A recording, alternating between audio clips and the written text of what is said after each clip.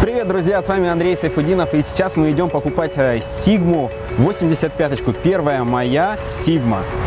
Первый мой неоригинальный объектив.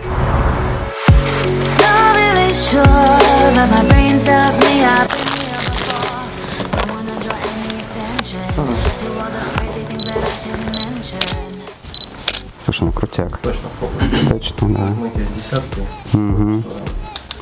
Супер. Супер крутое обслуживание, очень понравилось, не реклама, но клевый магазин. И сейчас мы поедем в тихое место. Нет, нет, нет, ферму не снимаем. Кто, зна- кто в курсе, тот догадается. Сейчас мы поедем в тихое местечко, распакуем, сравним эту 85-очку с этой 85-очкой и сделаем несколько тестовых снимков в разных условиях. Поехали. Мы переместились в более тихое место, поэтому я тоже буду тихо говорить. И первое, что пугает в этой коробочке, это вот эта вот надпись. Фильтр size 86 миллиметров.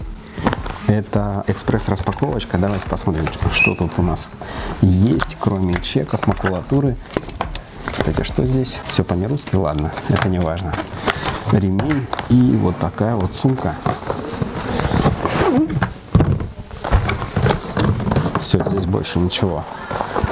Вот такой вот целый чемодан.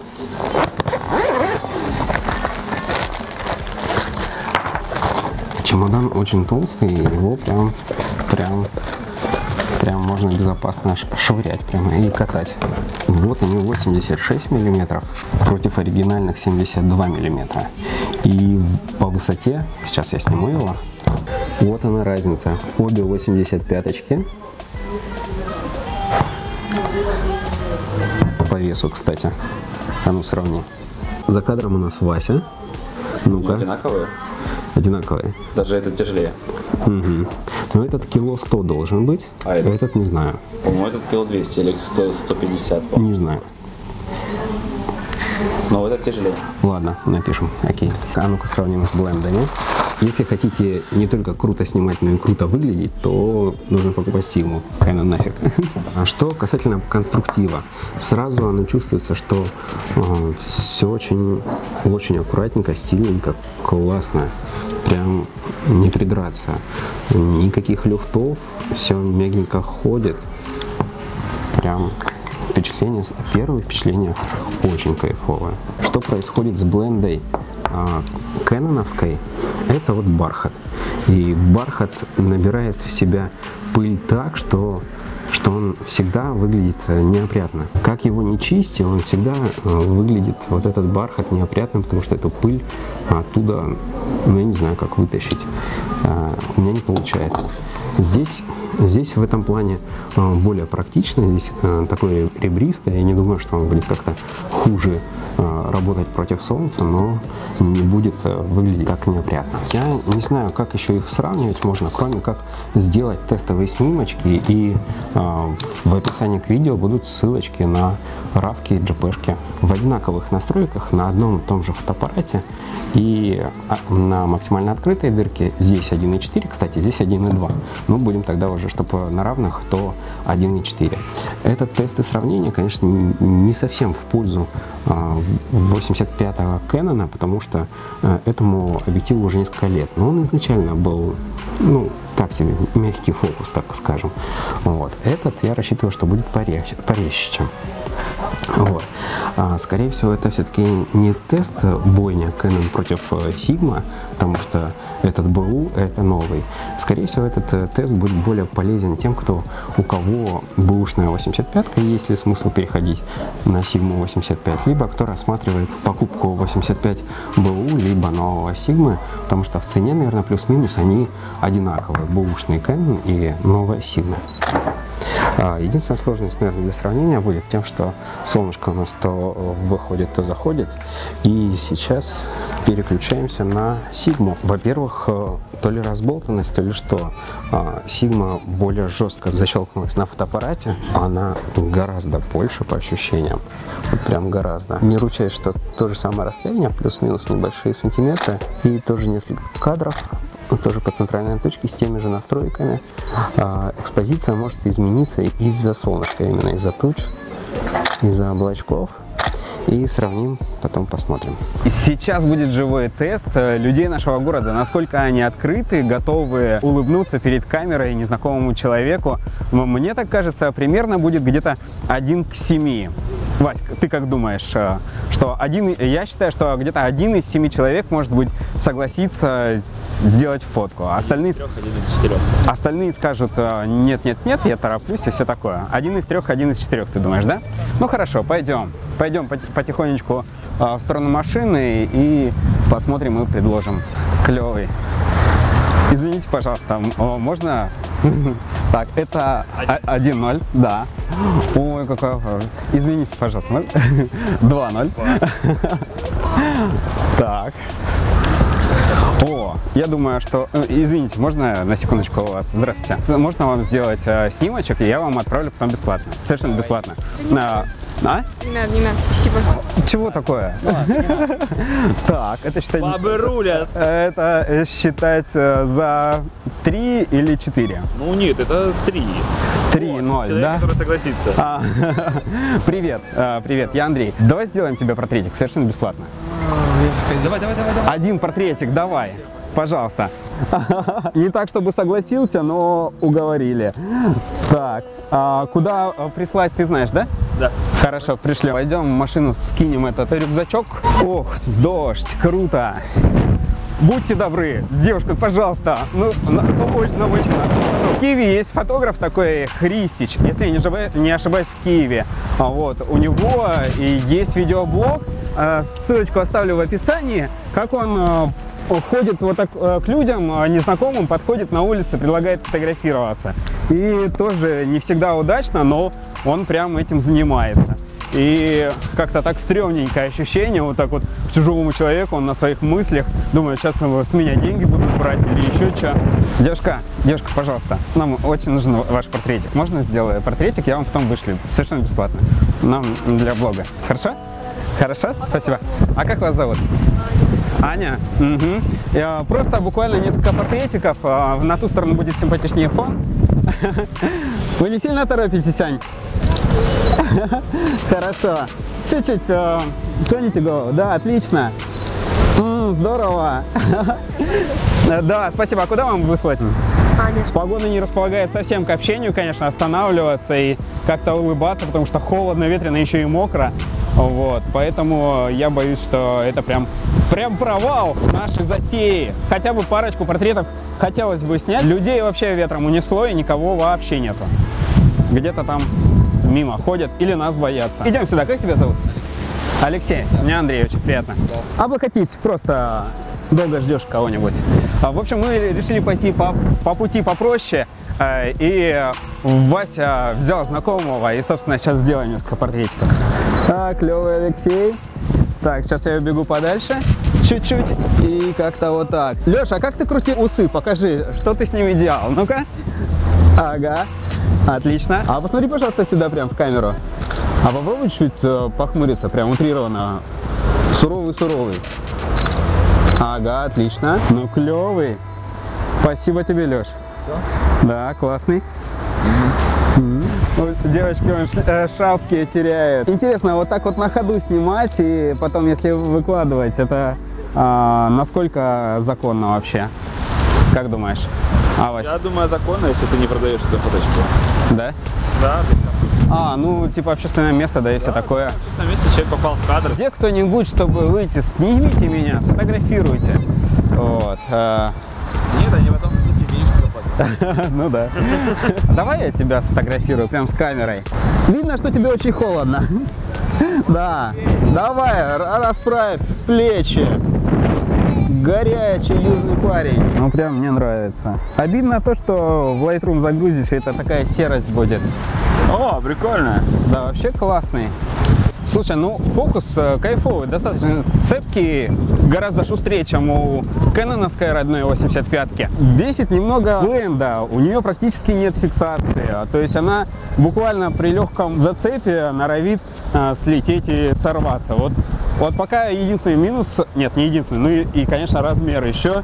э, Здесь, здесь он слишком, слишком. Ну, вот такой более, более собранный, ага. И прям сюда можно посмотреть. Мгм.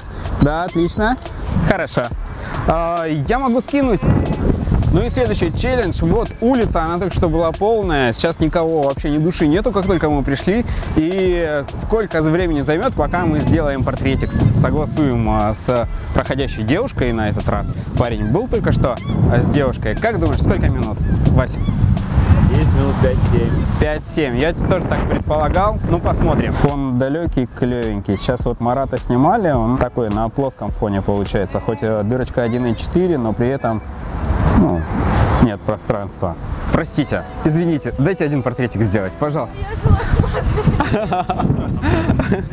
Это, это будет лохматый портрет. Это у нас а, тест объективчика на самом деле. Да не сдерживай улыбку, давай улыбочку легенько прям. Ну, пожалуйста. Я понимаю, я бы тоже очень стеснялся, если бы меня остановили так на улице, чужой мужчина особенно. Отлично. Все, спасибо. Слушай, ну прошло всего две минуты, мы сделали портретики, настреляли. В общем, нескольких человек мы сегодня, наверное, осчастливим этими портретами. Че? Че она сказала? Классный. И на тестовых табличках сравним еще детализацию, резкость и фокус этого а, 85-го и Canon 85 1.2. Все, поехали. И вот мы оказались дома за компьютером. Я сделал уже тестовые снимки. А, Canon 1.4, Sigma 1.4, Canon э, 2.0, Sigma 2.0. Эту всю папочку я тоже скину в облако. Под видео оставлю ссылку для скачивания. Именно так рассортированы. И каждый тест я делал по три снимка в одинаковых настройках Canon и Sigma. И давайте рассмотрим. Это Canon, это Sigma. В одинаковых настройках Sigma почему-то оказалась чуть-чуть темнее. И кроме того, по расстоянию немного отличается. Э, Так, давайте посмотрим поближе. Это Sigma. Сейчас э, выровняем. Э, Штатив я не двигал с одного места, но видно, что Canon чуть крупнее снимает, чем Sigma. Ну, я думаю, это не особо имеет значение. Главное, что вот э, снимок с Canon, я сразу его отличаю по э, красному цвету на контрастных переходах. Вот э, контрастный он очень плохо держит. Вот эти вот э, пурпурные очертания вокруг темных э, предметов меня очень сильно раздражали. Не знаю, как во второй версии справились с этим или нет. А, Но вот в первой такая вот ерунда, кроме того, что мягче фокус у него. Здесь, кстати, по фокусу не сильно не вижу особой разницы. Вот, можно попробовать посмотреть э, третий снимок из серии, например. Чтобы... Вот. Ну, как-то, не знаю. Посмотрите и скажете, как по резкости. И давайте, это ладно, центр-то хорошо. Э, Более-менее. У Сигмы прям вообще хорошо. У Кэнона чуть бочкообразность, по-моему, есть. Э, Фиолетовый есть. А теперь погнали по углам посмотрим. Итак, это Sigma, это Canon. Явно, что у Canon опять-таки фиолетовые все эти хроматические аберрации, не резкость, у Sigma все более черно-белое. И, кстати, таблицу, если хотите, я приложу ссылку в описании. Итак, вот э, это кто у нас? Это Canon, это Sigma. Снова Sigma выигрывает по резкости, и у Canon зеленый цвет в этом углу появился. Э, Перемещаемся в другой угол, нижний левый. У Сигмы э, заметна э, потеря резкости, у Canon еще сильнее потеря резкости, и у Canon опять зеленый цвет. И последний правый нижний угол. У Сигмы все резко и черно-белое, у Canon э, фиолетовость и не резко. А, так, э, что дальше? Давайте посмотрим Сигму на 2.0. И, соответственно, Canon на 2.0 откроем.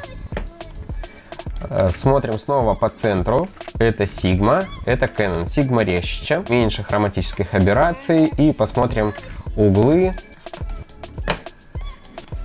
У Sigma все хорошо, у Canon потеря резкости, э, фиолетовые хроматические аберрации, в другом углу зеленые хроматические аберрации, по резкости Canon проигрывает. Ну, в общем, примерно то же самое, что и на прошлом тесте. В общем, так. Все, сильно на этом останавливаться не будем.